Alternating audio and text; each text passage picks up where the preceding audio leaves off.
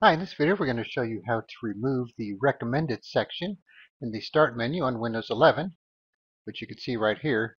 So you probably know you could go into the settings and disable this so it doesn't show anything in the recommended section, but it still leaves the word recommended here, which may be fine for some people, but it's kind of annoying if you don't even want this here. So here's where you go into personalization and start, and then you can turn off any settings you want from here for recommendations. All right, so this process here will work for Windows 11 Pro and I think education version, but for some reason it does not work with Windows 11 Home. You could try it, but I don't think it's going to work for you.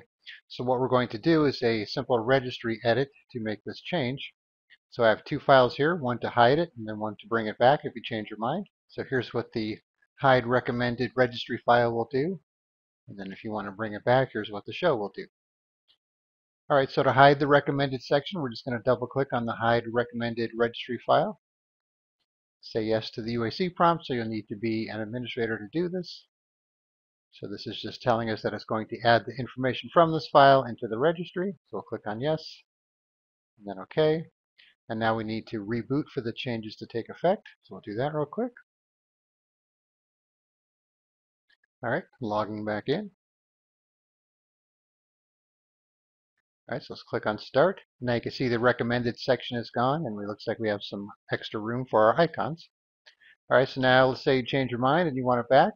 Just do the same thing with the Show Recommended Registry file.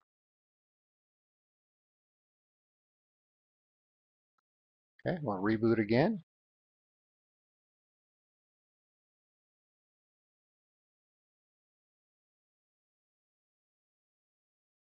All right, so now we click on Start, and now we have Recommended back again.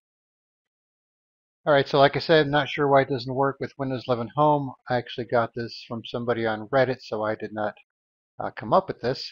So you may be able to figure out what needs to be done to make it work with Windows 11 Home. But for now, I'll put a link to these registry files in the description in case you want to try it out for yourself.